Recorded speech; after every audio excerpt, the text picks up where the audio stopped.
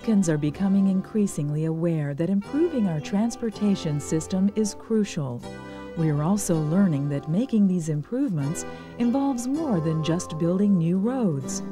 It will require providing increased travel options, protecting our air and water, reducing traffic congestion, providing better transportation for the disabled and economically disadvantaged, and working toward a more energy efficient future. This program has been produced to introduce you to an important tool to help achieve these goals the Census Transportation Planning Package. We will be showing you some of the ways the 1990 census can help government and the private sector respond to today's transportation issues. Let's take a look at why this package is so important. In a time of tight budgets and limited resources, transportation professionals and decision makers need cost effective, practical, and easy to use data sources to support critical decisions and the delivery of public services. This is where the Census Transportation Planning Package, or CTPP, can help address transportation problems at all levels. But first, what makes the CTPP so useful?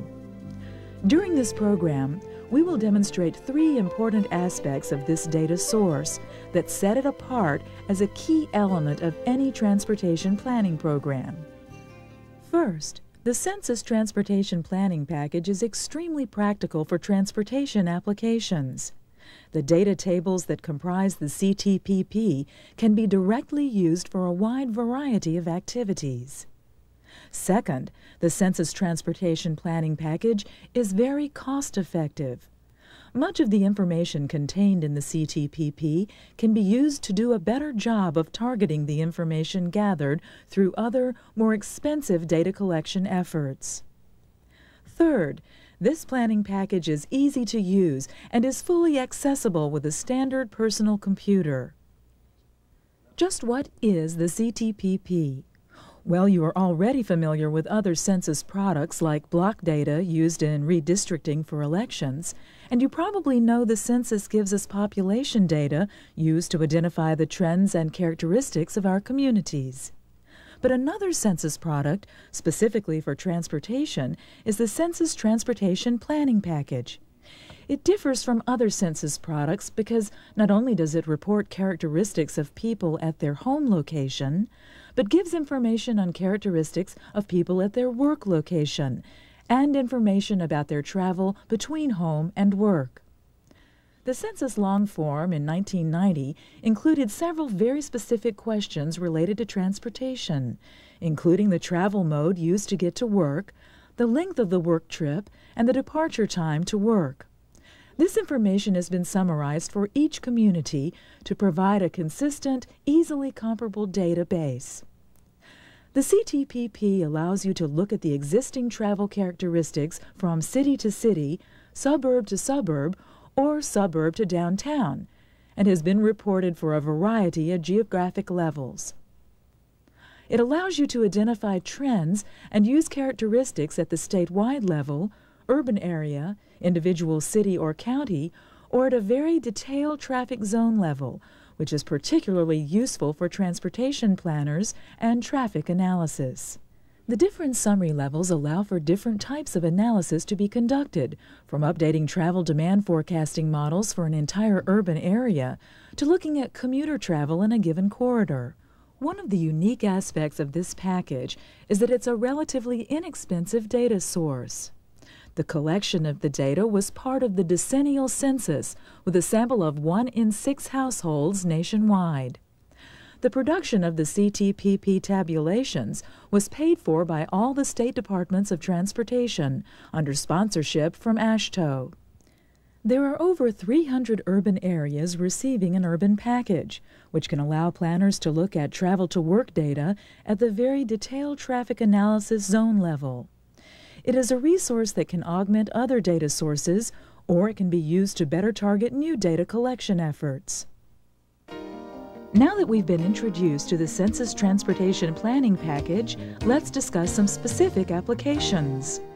First of all, it's helpful to understand that the census provides a snapshot of existing conditions, a benchmark.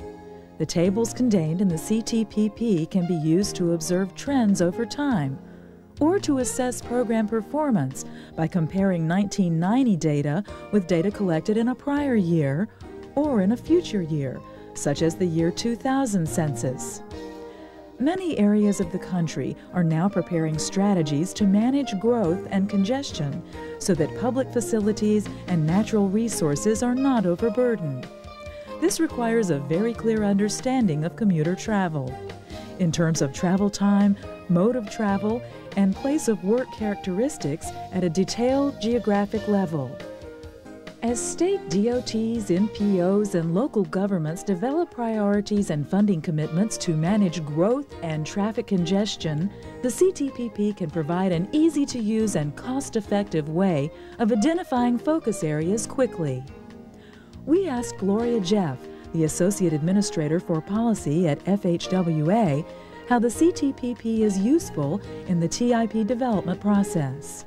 Well, the CTPP helps with preparation of the transportation improvement programs because of the fact that those transportation improvement programs, or TIPs, represent a three-year listing of projects that we anticipate undertaking.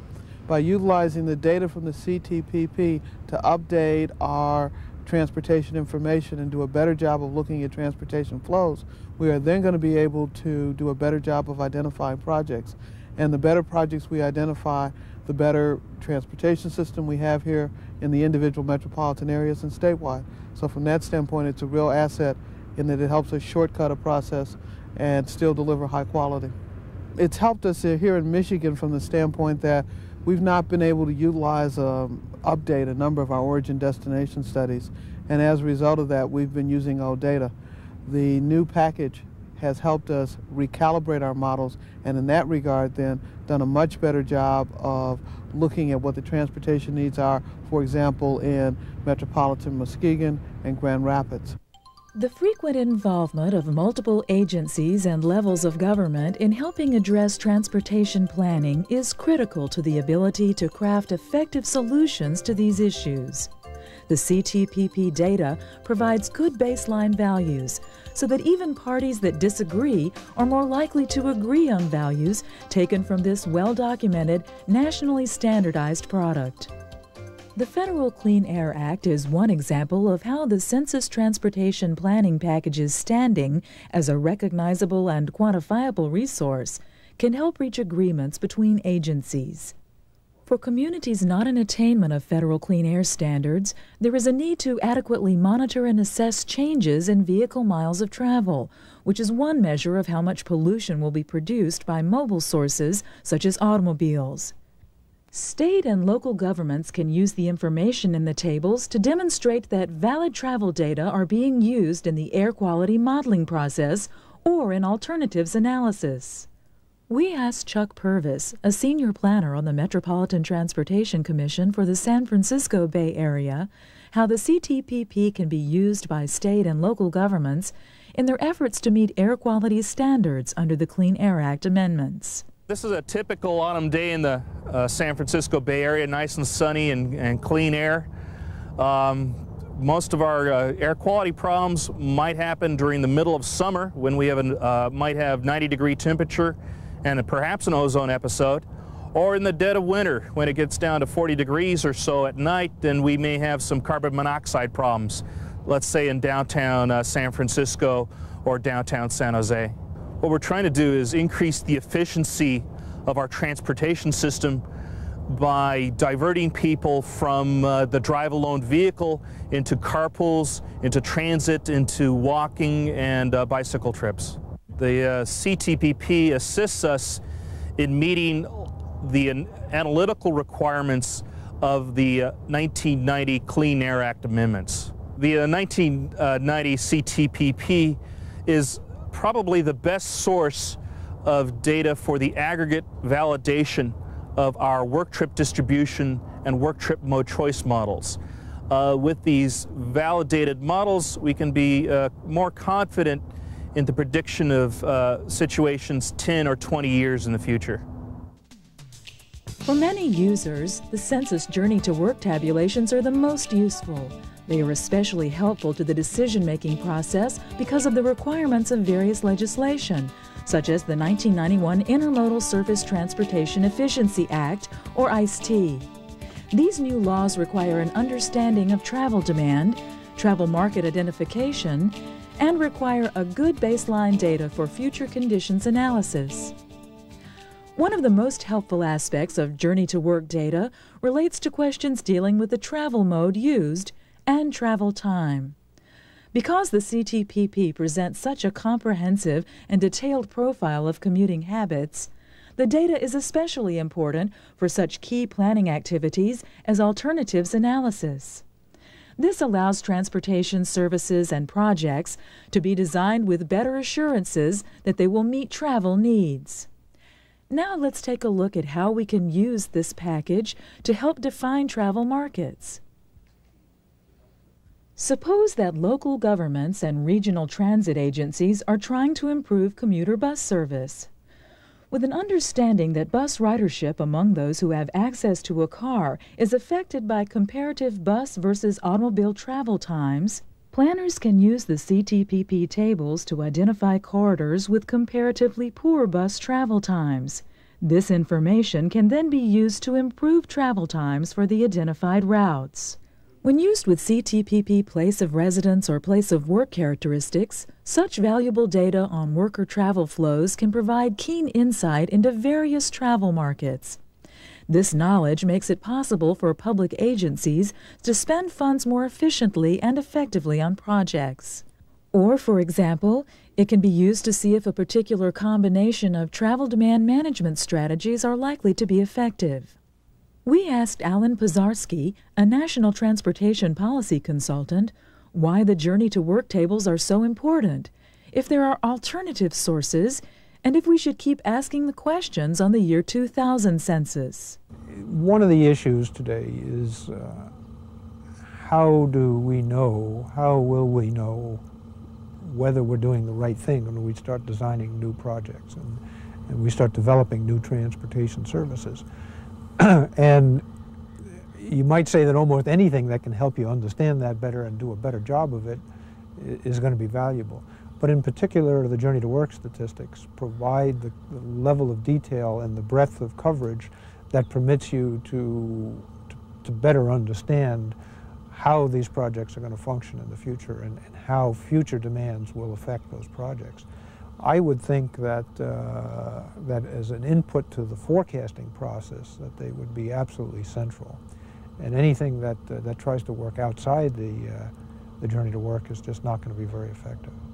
Years ago, in the urban planning world, we used to do urban transportation surveys, and they cost millions of dollars back in the 50s and 60s.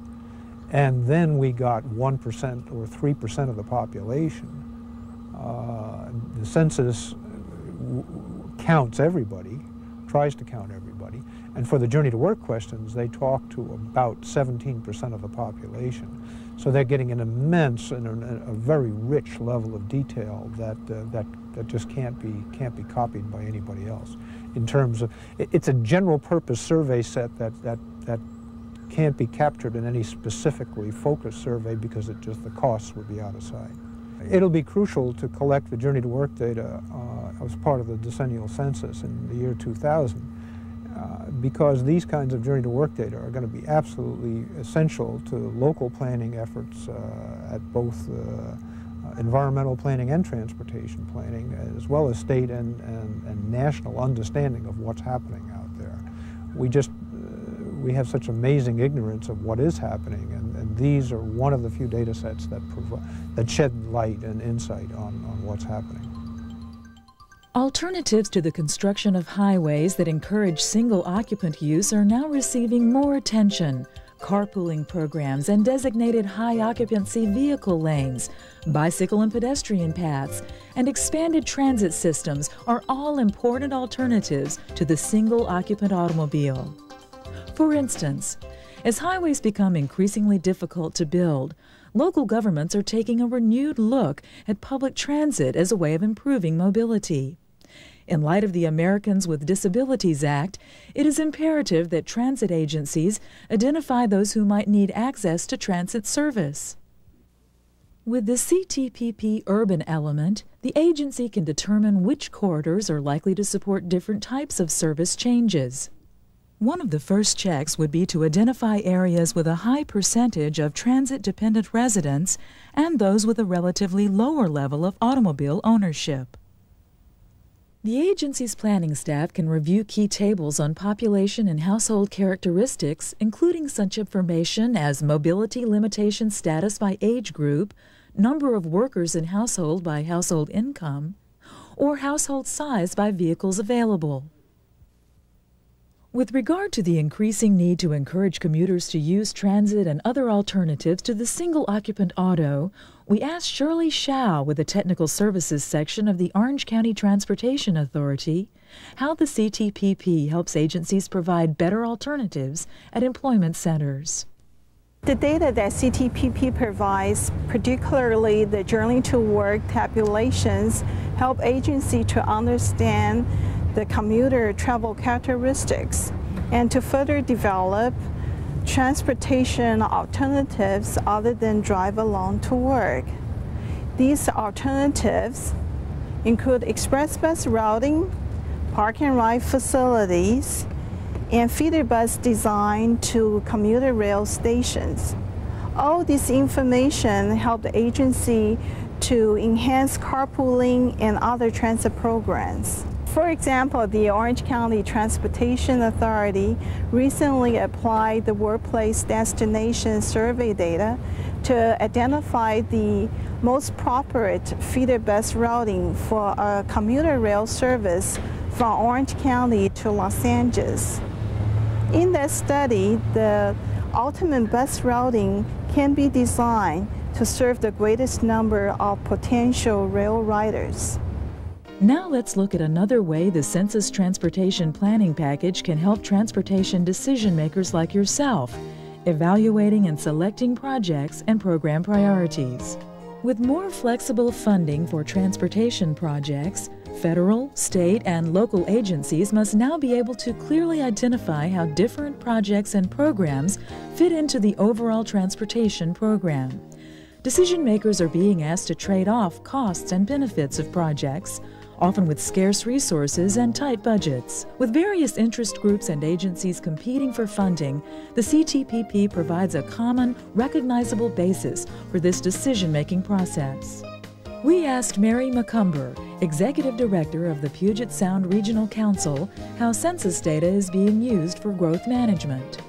For the first time, because of our State Growth Management Act, cities and uh, counties and regions are having to figure out where growth should go and what kind of densities. So basically the urban form, like figuring out for the first time uh, how to deal with growth issues, and then how transportation fits. What kind of transportation system do we need to get between the, the urban parts of the region and how to get within? It's a revolution in how we do things in Washington. The CTPP information is really critical to our work. We rely on that information. It provides us a common uh, set of data that we use and I would encourage all regions and other jurisdictions to use that information in their work.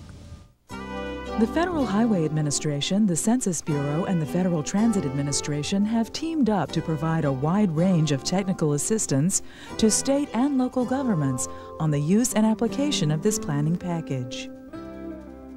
These three agencies have established a hotline for the sole purpose of assisting users with accessing and using the CTPP tables. The number for the hotline is area code 301 763 2601. The Census Bureau also has a computer bulletin board system where materials are available from an online library, and users can read about the latest CTPP developments and leave messages. Informational materials and technical assistance related to the Census Transportation Planning Package are available from the Federal Highway Administration in Washington, D.C. The materials include a CTPP handbook that offers guidance on the use of the tables and an introductory brochure that provides an overview of this package. TransVU Browse and Extract software for use with the CTPP was created through the Federal Bureau of Transportation Statistics. FHWA staff are also available for field assistance and will work with a local agency to arrange for such support. In previous years, only an urban area transportation package was created, which had limited geographic coverage. Now, for the first time, the Census Bureau has created a statewide element of the Census Transportation Planning Package that provides detailed socioeconomic and journey to work data at the place, county, and state levels. Both the statewide and urban elements of the CTPP are available on a nine track computer tape and compact disc. Now that you've seen how vital the CTPP is for transportation planning, we hope you will take advantage of this resource as we build a transportation system to keep America moving, whether that's by car, bus, rail, magnetic levitation, or bicycle.